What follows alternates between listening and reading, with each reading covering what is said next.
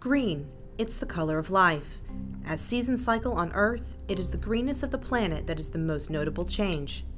Both on the ground and in space, we see vegetation bloom